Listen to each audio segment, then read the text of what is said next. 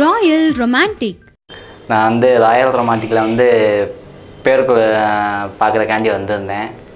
ஒரு மனசு திருப்தி இல்லாமல் தான் வந்தேன். வந்தவொடனே மே உள்ளே வந்தோடனே ஷர்ட் இது சாக்லேட் கொடுத்தாங்க.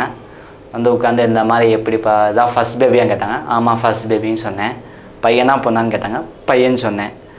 இந்த மாதிரி எனக்கு சாமி பேர் கொஞ்சம் டிஃப்ரெண்ட்டான நேம் தான் வேணும்னு சொன்னேன். அதில் வந்து அவங்க சொன்னதில் வந்து ஒரு பதினெட்டு பேரில் எழுதி இந்த மாதிரி பேர் வைக்கலாம்.